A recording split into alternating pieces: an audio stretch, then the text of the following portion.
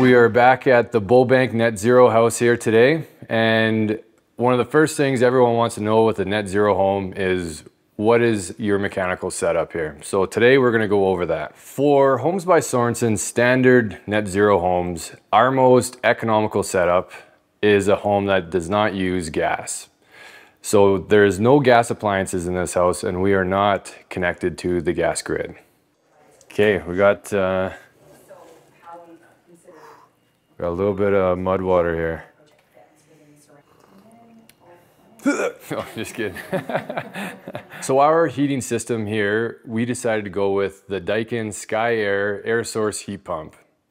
This unit does both heating and cooling. The Daikin Sky Air uses heat from the outside air and pumps it into your house by way of a forced air system.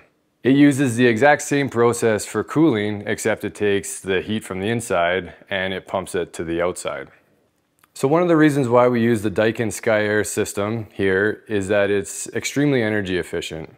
At minus 20 degrees Celsius outside, the Daikin Sky Air will have a COP of 1.9 and COP stands for coefficient of performance.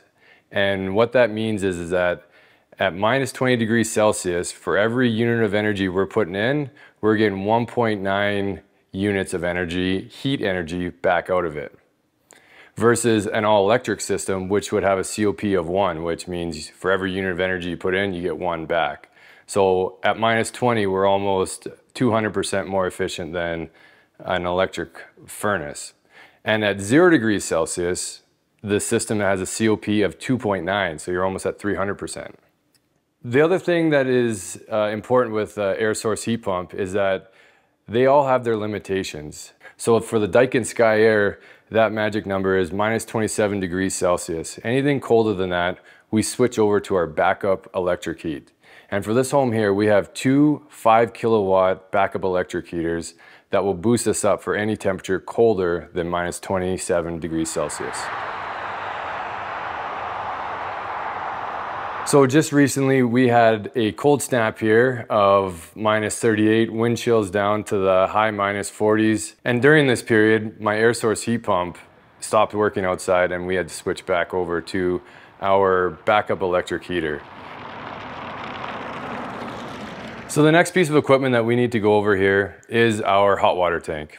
So for our house here, we decided to go with the Rheem air source heat pump. The Rheem air source heat pump has two ways of heating your hot water. One is air source heat pump technology, and the second is an electric coil within the hot water tank. You can set the hot water tank to use either straight electric heat or air source heat pump or a hybrid version of that. Because the air source heat pump is far more energy efficient than the uh, electric coil within the hot water tank, we want to try and use that air source heat pump to heat our hot water as much as possible. But there is times when we have a high demand for the hot water going on and we use a combination of both to boost us up. For our electric coil, like I said with the Daikin Sky Air system, its COP is one, one to one. So for every unit of energy we put in, we get one out. For the air source heat pump method of heating this hot water tank, our COP is up at three. So you're getting 300% more hot water when you're on the air source heat pump mode versus the electric for the same amount of energy. So our last piece of mechanical equipment to go over here is our HRV. This is the lungs of the house. This is what brings our fresh air in and exhausts our stale air out. For every high performance home, the indoor air quality is extremely important. For any home for that matter, indoor air quality is very important.